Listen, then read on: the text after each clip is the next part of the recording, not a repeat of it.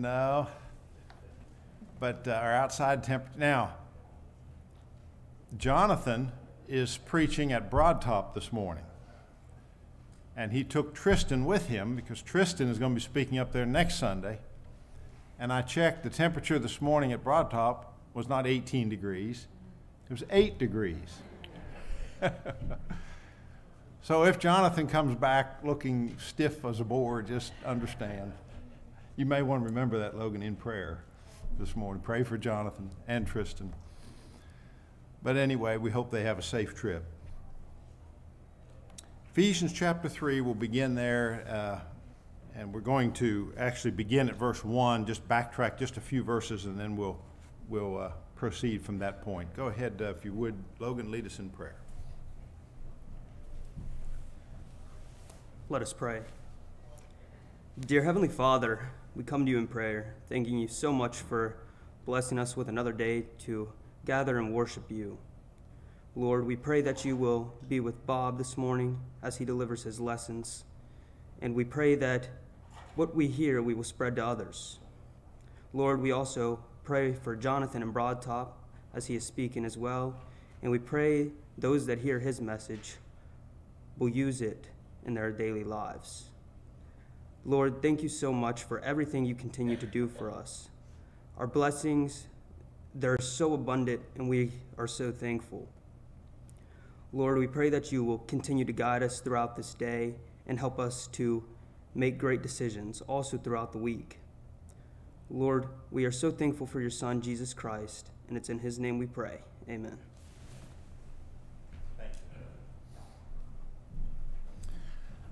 Okay, Ephesians chapter 3. Let's remember before we read these verses the purposes for Paul's writing the book.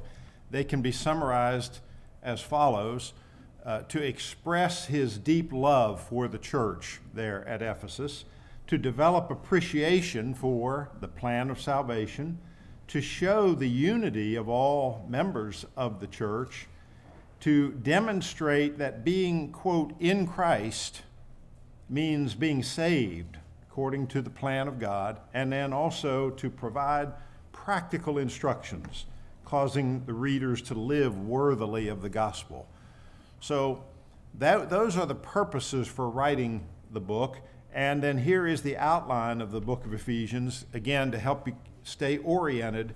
Remember, the first three chapters are here in Roman numeral 1 the church is chosen, redeemed, and united in Christ. So we are finishing up that first major section of the book uh, here this morning in chapter 3 before he starts to get into some of these practical exhortations in the last half of the book.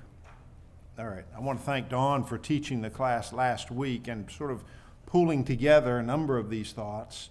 Let's begin reading in Ephesians chapter 3, verse 1.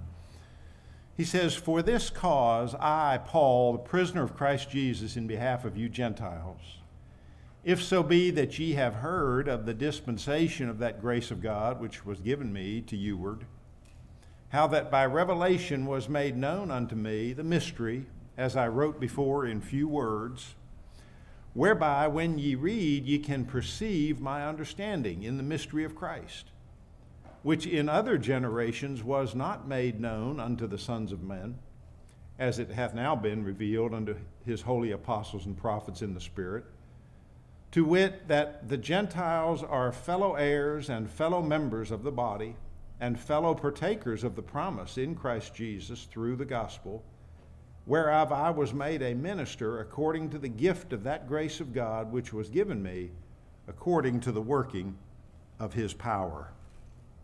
Now, we're going to break there. We've gone back and looked at these verses and we pointed out that Paul is in, into a run on sentence.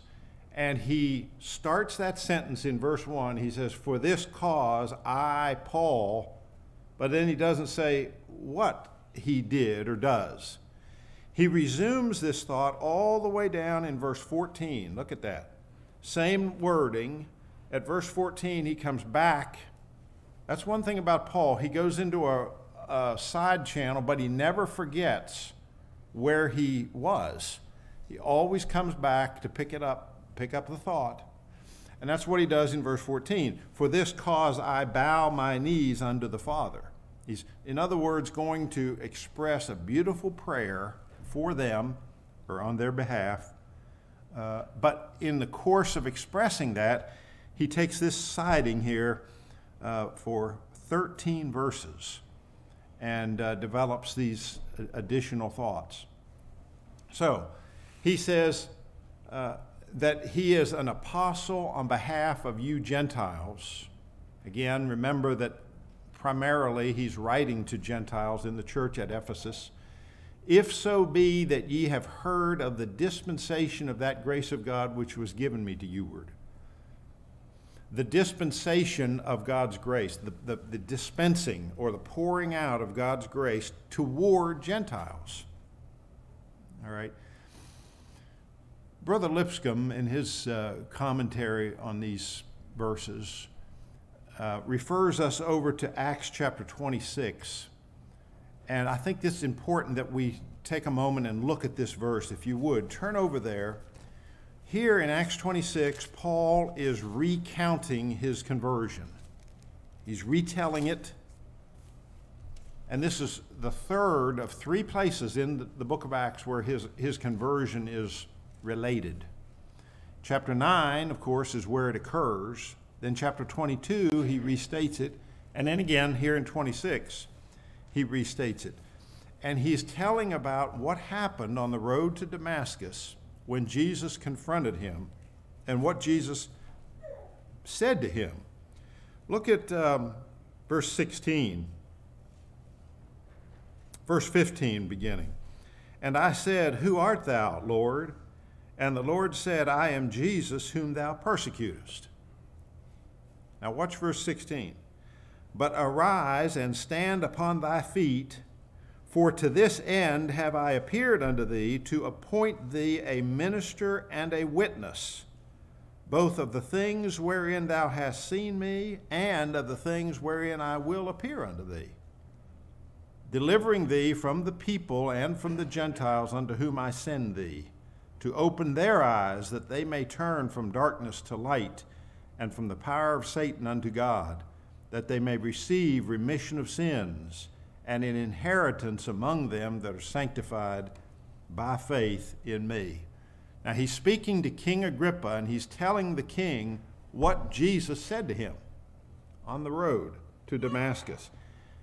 When that bright light appeared and Saul fell down, and Jesus says, Arise, stand on your feet. I have work for you to, I'm going to send you on a mission. I have work for you to do for this cause to appoint thee a minister and a witness. Now, a witness is somebody who has what? Has seen something or observed something more precisely, because it may be that they heard something with their ears, maybe they smelled something, maybe they saw it with their eyes, but somehow or another they observed it with their physical senses. And now they are telling about it under oath. That's the, the technical definition of a witness and the retelling of something that you've seen or observed. Well, had Paul seen Jesus before? Yes. Look at the next verse. Arise and stand upon thy feet, for this end have I appeared unto thee to appoint thee a minister and a witness both of the things wherein thou hast seen me and of the things wherein I will appear unto thee. I think it's interesting, Brother Lipscomb points this out, that Saul of Tarsus had evidently seen, and by the way, he would be about the same age as Jesus Christ. He had evidently seen Jesus or seen the work of Jesus and the effects of Jesus' ministry, and he would see Jesus again. Here on the road to Damascus, Jesus is saying, You're going to be a witness of the things you've seen and that you will see in me. And primarily, you will be a witness to whom? To the Gentiles. This is where Paul was different from the other apostles, the earlier ones who went first to the Jews and then to the Greeks. Paul steps in at the then to the Greek stage, primarily to the Gentiles, although, of course, he would preach also to the Jews. Okay? Comments on that or any questions? I thought that was a good insight and background here as Paul is writing as to what, uh, what his purpose is all about. Okay? Yes, Jim. When he says that he's a prisoner of Jesus Christ in behalf of the Gentiles, this is exactly what he's referring to, what you, what, the- what you uh, just brought us to in Acts 26. He's, uh, he's talking about the fact that if that had not happened, if Christ had not come to him and made him a witness to the Gentiles, he wouldn't be in prison. Right, right. And you're about two steps ahead of me, Jim. That's the next point I want to get to. Why was Paul imprisoned in Jerusalem with regard to Gentiles? How, how did Gentiles play into his uh, trouble? It's recorded in the book of Acts, in chapter 19 and, and other places. How, how, how did Gentiles play into his trouble? Yes. We have to look a little bit more into. Wait, wait just a second. Let me get, get a mic here to you so we can hear you. Go ahead. If I'd known that I was going to answer another question. That's all right. Go ahead. Uh, The question is how is Paul's imprisonment related to the Gentiles? What He wa- says, I am a pri- uh, the prisoner of Christ Jesus in behalf of you Gentiles. What, what I wanted to comment about was looking at Paul's path, which he tells us about in other areas. He was a Jew. He was of the tribe of Benjamin. He was zealous in his persecution of the church. Had he continued that, on that path, uh, he would have had nothing, he would have never been put in prison in Jerusalem. Okay. He never would have. He would have continued on that path of That's right. persecuting the church, uh, which is what they were sending him to do. Right. Now let's go. Let's turn back to Acts chapter 21. Everybody, look, look at this, if you would. This kind of puts into perspective, I think, what the, these comments are pertaining to. In Acts chapter 21, um, they set sail. They make a straight course unto Kos. The next day to Rhodes, Phoenicia, Cyprus. He talks about Tyre, tarrying there seven days, and then finally to Jerusalem. Okay. Um, down in verse 17, and when we were come to Jerusalem, the brethren received us gladly. By the way, he has just ended his third missionary journey. Remember that? Acts chapter 21, verse 17 is the end of the third journey. And the day following, he goes into Paul and unto James and so on. He presents, you know, what about his work and what God has uh, been doing through him. But now drop down to verse 27. When the seven days were almost completed, the Jews from Asia, when they saw him in the temple, what did they do? They said he had desecrated the temple. He had done that by bringing who or what into the temple? A Gentile. And they even named it. it, it they, they may not even known his name, but they were referring, verse 29, they were referring to a man named Trophimus. And, and Luke tells us here they had seen Paul with Trophimus previously, and they just surmised or assumed that he had brought him into the temple. Trophimus, a Gentile. So they're all stirred up about this. And this leads to a huge, uh, almost a riot. Uh, well, it is a riot, shouting one thing and, and some shouting another. And finally, the Roman authorities have to intervene, brings him into the castle, remember, and uh, because of the violence of the crowd, carried him away and, and questioned him he's imprisoned or he is he is taken captive and, and apprehended by the Roman chief captain here, and in essence rescued when he was mobbed like that because of the, these accusations that he was going to the Gentiles. And he was bringing Gentiles into the temple. All right? This was Paul's ministry to bring the gospel to the Gentiles. But the Jews vehemently objected to that. No, you can't do this. Gospel is not for the Gentiles. So when he says he is a prisoner of Christ Jesus in behalf of you Gentiles, he's saying it's because of the Gentiles that I'm working, I'm, I'm preaching to bring the gospel to you. And that's why I'm, I'm imprisoned. Now, this imprisonment here is a later imprisonment. Ephesians, when he writes this book, he's actually in a Roman prison, but it's the same Genesis.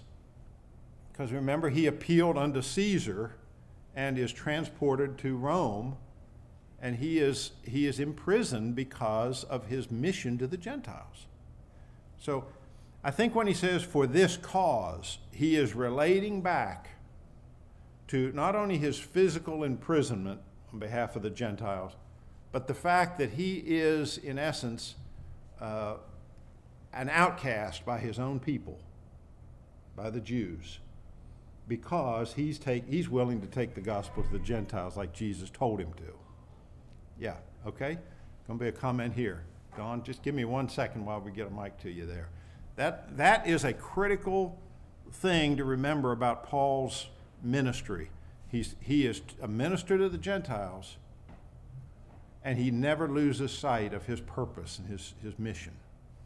Yes, Don. Uh, Bob, I, I don't think the Jews really cared. Uh, I mean, they accused Paul of desecrating the temple but I don't think they really cared whether he did or not. It was the accusation that was important because if we go back to verse 21 in Acts, there it, it says that they believed Paul was teaching the abandonment of the law of Moses. Yes. And so they, they accused him. They, they, they were looking for something. Right. Paul's in town, he's going to be a problem for us we got to get rid of him. Right. And this was a major problem in the first century church. You remember in Acts uh, 15, is it about the Jerusalem, so called Jerusalem conference, and the meeting of the church there? What are we going to do about this issue? So it, it was, it consumed their energy and their attention big time in the first century church. Yeah, I think that's right. That was the underlying issue. We don't want to give up our preferred status, our power, our prestige as God's chosen people, we don't want to turn that over to, to the Gentiles. Good. Anybody else on that? Okay, Paula? Uh, question. Go ahead. When we say the Jews, we do just mean certain Jews because many Jews came across right. to Christ. Good point. Yeah. Well, Paul himself was a Jew. Jesus was a Jew. So, yes, this isn't a blanket, uh, one size fits all indictment. But Stephen did say, You do always resist the whole, so do you. And uh, he was stoned for that. Yeah. Good point. Anything else? Yes, Jim. Now, uh, go ahead. I just wanted to mention that besides, besides the issue that he had uh, with uh, the, the zealous Jews, the ones who did not want the gospel preached, he then continued, or he had had, and would continue to have problems with Judaizers. Even, even those that became Christians wanted to bring over some of the old Jewish uh, requirements into Christianity. That's right. Which he was very adamant against. Yes. Because otherwise, this would have just been a sect of, uh, of the Jewish religion, much like the Pharisees or the Sadducees or whatever. In fact, that's what the Romans thought this Christianity was a sect of Judaism. Yes, and that and good point. And we'll see that I think even more as we go on this continuing effort by these Judaizing teachers to bind the old law. Remember, when we were in Colossians 2, Paul spent a lot of time showing how that law had, was like a middle wall of partition had been broken down to unite Jew and Gentile in Christ. Okay? So it, it would be a, an ongoing problem that he would deal with. Don. Well, I think we see, even in our time, that this problem hasn't gone away. The, the Catholics and the Protestants believe that the Jews are still God's chosen people. They still uh, probably financially support the existence of Israel. I'm not saying that Israel shouldn't exist, but what I am saying is that God specified, if you do what I tell you, then I will be your God and you will be my people. Right from the first day when Moses came down from the mountain, the people were already breaking the law. And God preserved them for the sake of bringing Christ into the world, but not for the sake of making them a special people forever. Yes. Good. Good thoughts. Yeah, I, I like how we can see the application of this today in our lives. This problem that Paul was dealing with hasn't gone away. It's a continuing issue. It just shows itself in different ways today. And we can learn a lot from understanding how Paul dealt with it. But he says that, that, that he is imprisoned on behalf of the Gentiles, if so be that ye have heard of the dispensation of that grace of God, it was given me to you. Now, watch verse 3. How that by revelation was made known unto me the mystery, as I wrote before in a few words. And then we talked about verse 4 a little bit, whereby when ye read, ye can understand, you can perceive. This destroys the notion that the Bible is not understandable, which is a common myth. Even among religious people, there are those who teach and believe and have been led to believe that you can prove anything by the Bible. It's whatever you want it to mean. Your interpretation is as good as your interpretation. One interpretation is as good as another. Well, we would never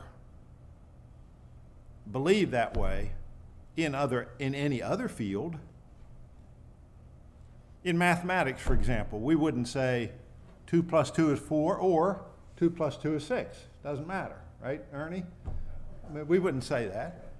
In mathematics, that's a field of knowledge and certainty, and, of, and in logic, and in persuasion, and in any form of art.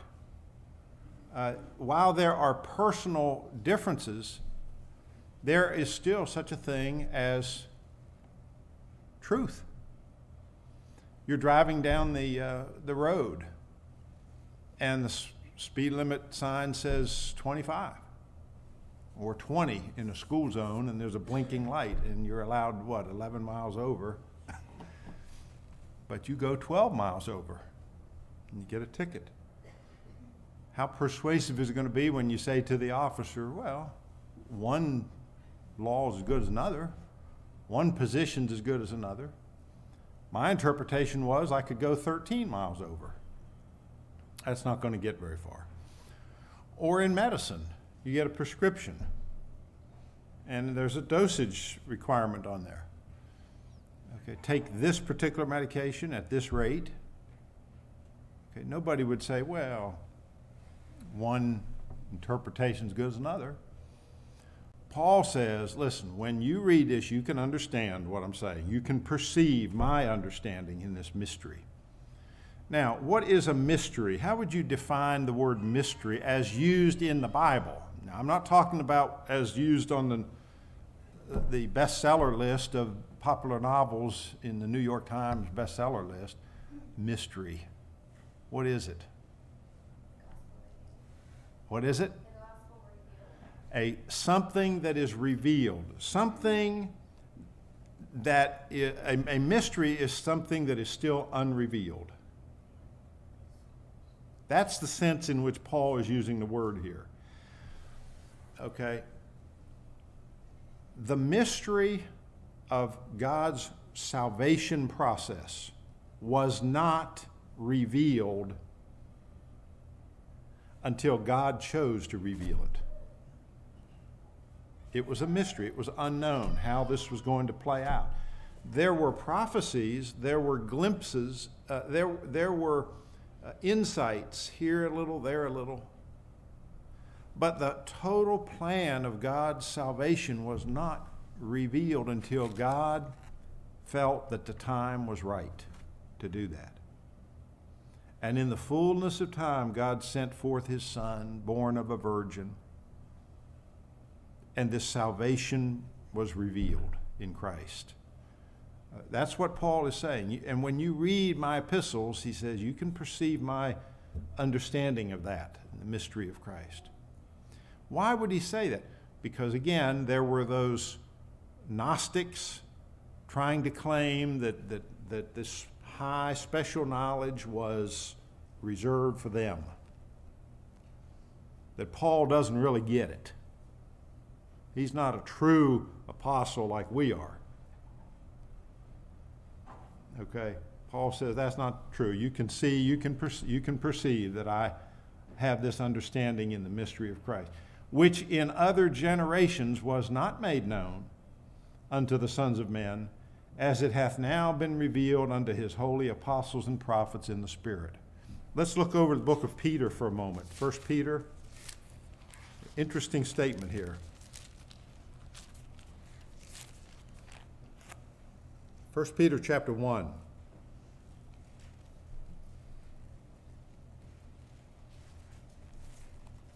He's talking about this salvation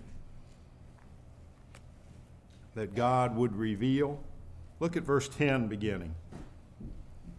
Concerning which salvation the prophets sought and searched diligently, who prophesied of the grace that should come unto you, searching what time or what manner of time the Spirit of Christ which was in them did point unto, when it testified beforehand the sufferings of Christ and the glories that should follow them to whom it was revealed that not unto themselves, but unto you did they minister these things, which now have been announced unto you through them that preached the gospel unto you by the Holy Spirit sent forth from heaven, which things angels desire to look into.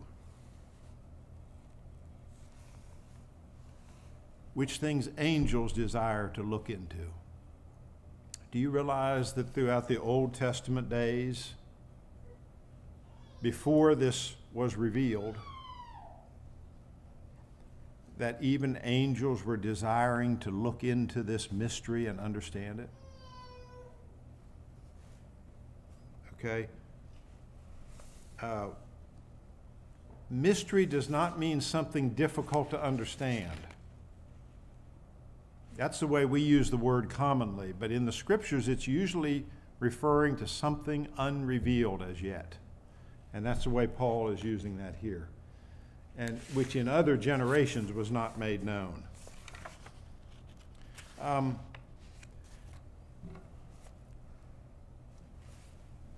I want to tie in verse 10 here, if you would. Drop down, let me see if I can scroll down to verse 10.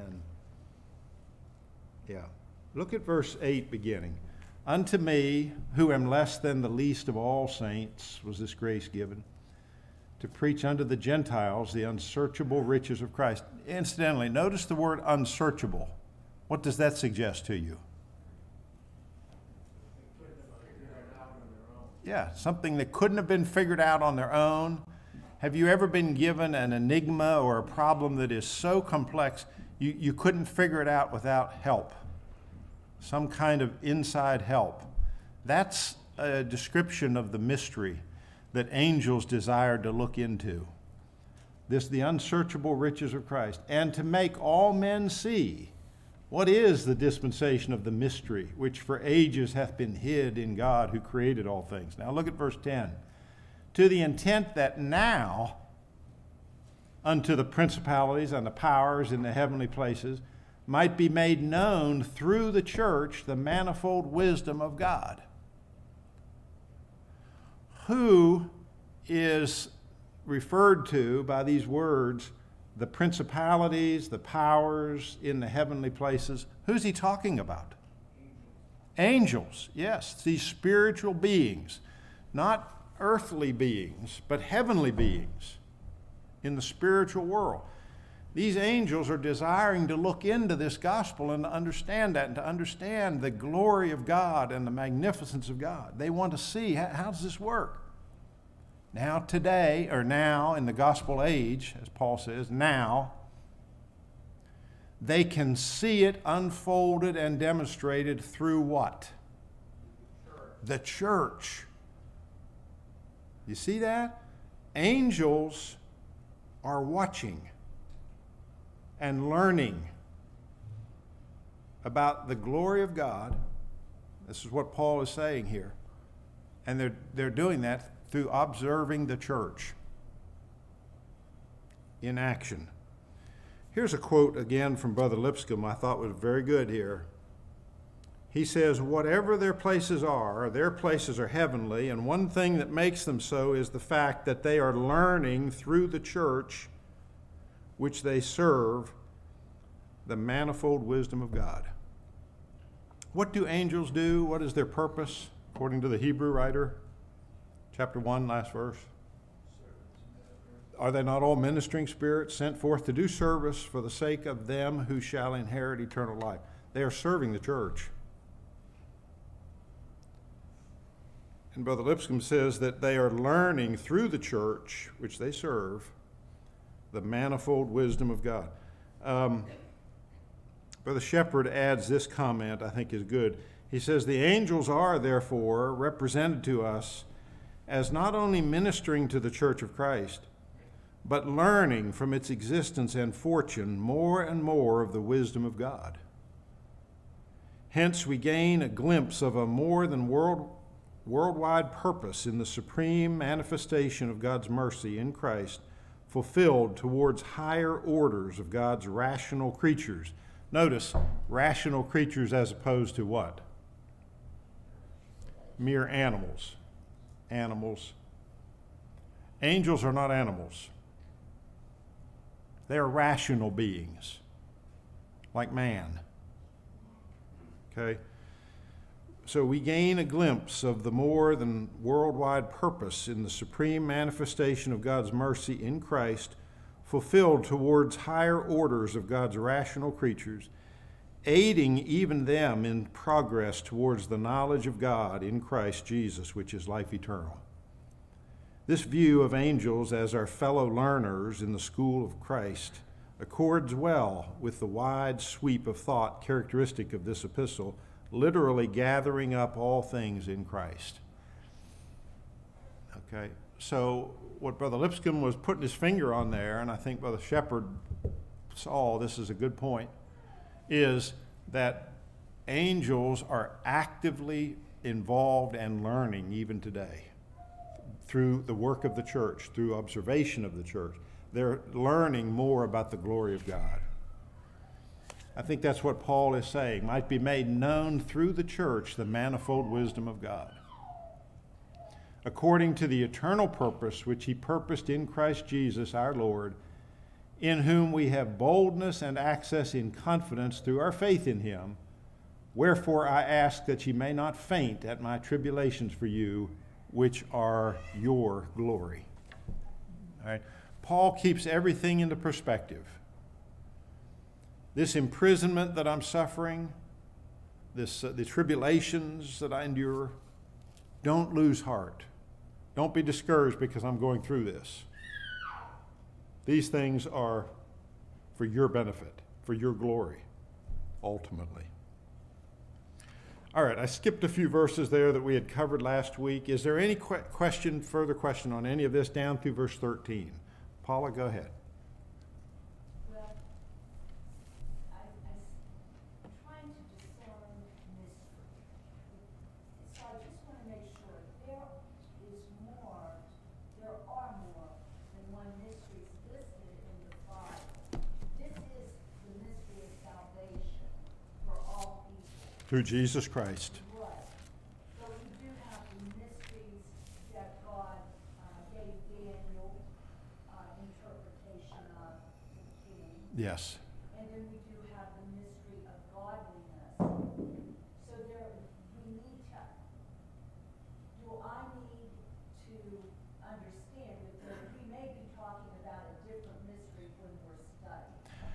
Okay, good question. Is the word mystery used in different senses in the Bible? And I think the answer is yes. And but when you look at Paul's use of that concept, it's pretty, I think, pretty consistent. Um, he is talking about how God, Jesus Christ, has singled him out as the arrowhead to bring the saving gospel to the Gentiles. He announced that back on the road to Damascus. Paul considers himself the least of the apostles. He was before a blasphemer, a persecutor of the church, but he did it ignorantly, 1 Timothy chapter 1, and in unbelief. And his purpose, his whole purpose is to reveal this mystery and bring salvation to the Gentiles. That's his that's Paul's use of the word. And when you think of it that way, the word mystery means something that is unrevealed. In a way, I think that's true of the other uses too, but that's Paul's, uh, seems to be the thrust of his usage, I think. Yeah. Scott, go ahead. I think also it's fair to point out too, is in what the Bible tells us in Second Peter chapter one verse three, it says this divine power is granted to us all things that pertain to life and godliness through the knowledge of him who has called us to his own glory and excellence. Which tells me that we're living in an age where all these things have been revealed. So I think it's dangerous when people continue to think, well, there's still mysteries we need to figure out, revelations yet to come, Yes. when clearly there isn't. Yes, good point. Paul, Scott says, for those who couldn't hear that, that uh, 2 Peter 1 and verse 3 teaches that these mysteries have been revealed through the knowledge of him that called us by his own glory and virtue. It says that in his divine power he hath granted us these. Hath is a past tense verb there, or uh, the granting that occurred is past tense. He has done this, has given us all things that pertain to life and godliness. So we shouldn't be looking for um, special revelations, um, additional insights into the mystery separate and apart from God's Word. Okay? For those who have been taught that the Holy Spirit is somehow working separate and apart from God's Word, I strongly urge that you think about these verses because that's, that's not a scripture, and that can very, get very, very dangerous um, if you think about its consequences. Okay, Don, go ahead.